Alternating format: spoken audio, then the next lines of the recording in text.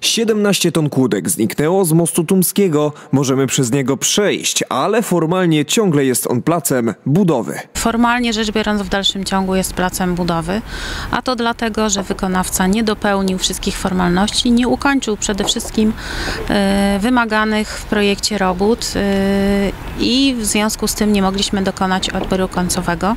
Teraz prace trwają nad oświetleniem, które ma być wyjątkowe. Lampy historyczne, które na życzenie Miejskiego Konserwatora Zabytków zostały odtworzone e, w takim kształcie, w jakim mogliśmy je oglądać e, jeszcze przed e, II wojną światową, e, nie są kompletne. Tam braku, brakuje jeszcze kloszy i tych właściwych e, żarówek.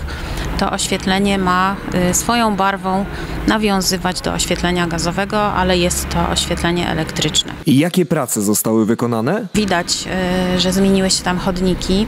Przed remontem na pewno wrocławianie pamiętają, że chodniki były wykonane z asfaltu.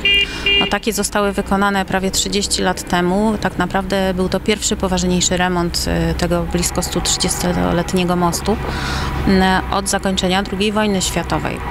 E, W tej chwili e, uzupełniliśmy brakujące fragmenty balustrad, które zostały uszkodzone podczas oblężenia Festumu Breslau.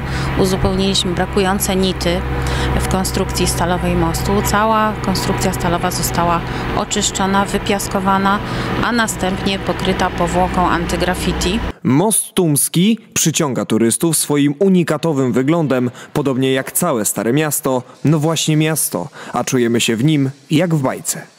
Dariusz Nowakowski, Wrocławskie Fakty.